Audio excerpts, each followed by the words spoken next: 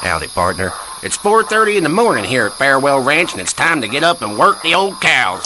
Get up, y'all!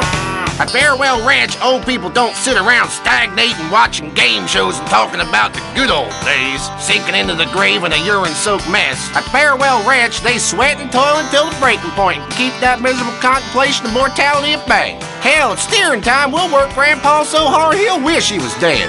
At the end of the day, he'll sit down in the bluegrass, eat a bowl of commemorative beans, and enjoy sing-alongs at one of our nightly funerals. It's the Cowboys Code. Work hard, don't shower, and die in your boots. Right, Norm? Ah, my prostate. Farewell Ranch, the only way to ride into the sunset.